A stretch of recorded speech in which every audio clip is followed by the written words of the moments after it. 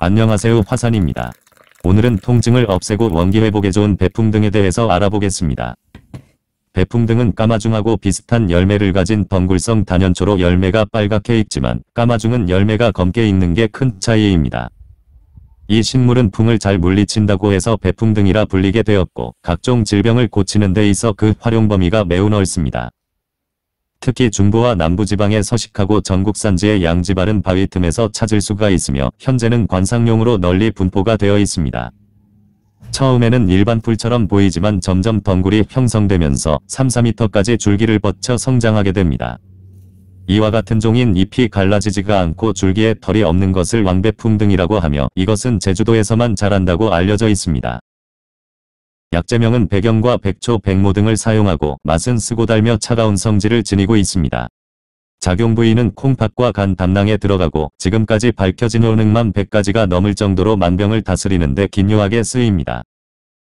한방에서 배풍 등은 잎과 열매 뿌리 모든 부분을 약재로 사용하고 습한 기운과 풍을 잘 다스려서 관절염으로 몹시 아프거나 만성편 두통에 쓰입니다.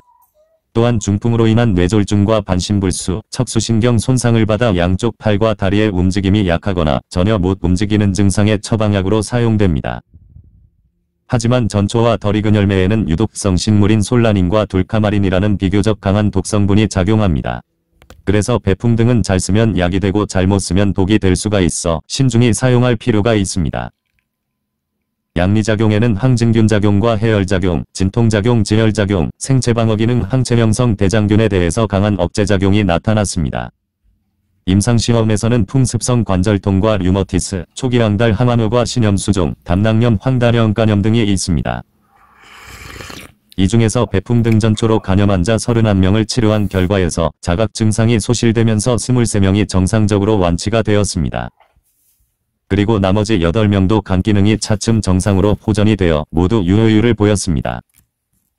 또한 배풍 등 주사액은 황달을 물리치고 증상을 개선시키는 효과가 비교적 양호했지만 티모르 혼탁과 아연 혼탁을 정화시키는 효과는 약간 떨어지기도 했습니다. 다음 배풍 등은 암세포 임상시험 결과에서 네 종류의 암세포에 대해 모두 가장 높은 증식 억제 효과를 보이기도 했습니다. 이중 자궁경부암과 대장암, 유방암 간암세포에 대해서 높은 활성도를 나타냈으며 암세포 사멸 및 전이를 막는 데 매우 효과적으로 나타났습니다. 이미 중국 상하이에서는 배풍 등을 전통적으로 항종양작용을 목적으로 암을 해독하는 데 사용했다고 하며 자궁경부암을 완치한 사례가 있기도 합니다. 암치료에는 열매와 뿌리를 다려서 먹으면 치료 효과를 볼 수가 있습니다. 용량은 뿌리 10에서 20g 정도의 대추와 감초를 꼭 넣고 물에 달여야만 중화 및 해독작용을 풀 수가 있습니다. 그리고 하루 2회씩 식사 전 30분 전에 복용하면 됩니다. 다음 과거 성기능장애는 나이가 많은 사람들만 발생하는 것이라고 생각했지만 최근에는 20, 30대 젊은 사람들에게도 흔치 않게 발생하고 점점 늘고 있는 추세에 있습니다. 배풍 등은 스테로이드계 사포닌이 많이 함유되어 있어 남성 호르몬 증가와 발기부전에 탁월한 효과가 있는 치료제로 쓰이기도 합니다.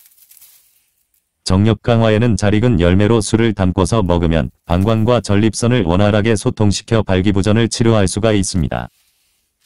그리고 진통작용이 강해서 관절염과 신경통, 허리 통증을 완화시킬 수가 있습니다. 하지만 덜 익은 열매는 독성이 매우 강하므로 꼭 익은 열매만 술로 담그셔야 하고 올해 담금주를 만들려고 했는데 열매가 많이 열리지 않아서 약재로만 조금 말려두었습니다. 그 밖에 면역력이 극도로 떨어져서 노인들에게 많이 발생하는 대상포진에도 놀라운 효과가 있으며 종기나 무좀 등의 피부병을 제거할 때도 쓰입니다. 옛고서에는 눈이 침침한 증상과 바람을 많이 맞으면 눈물이 나는 병, 눈이 뿌옇게 혼탁해져서 시력장애가 발생하는 백내장애 치료한다고 기록되어 있습니다.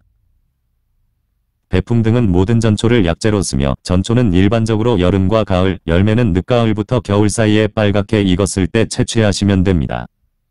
그리고 깨끗이 씻어서 햇볕에 1-2주 정도 장기간 말리시면 됩니다.